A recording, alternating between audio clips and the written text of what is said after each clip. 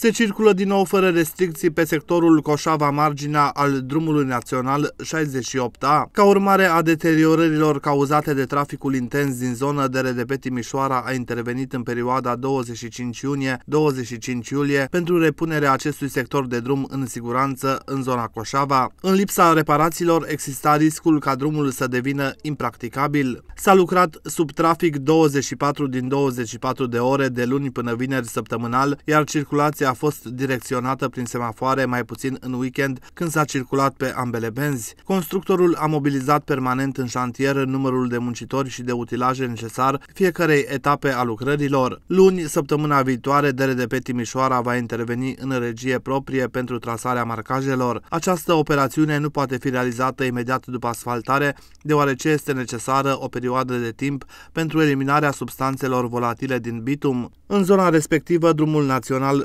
68A preia întreaga circulație de pe A1 până în momentul în care secțiunea autostradă marginea Holdea, secțiunea cu tuneluri, va fi finalizată.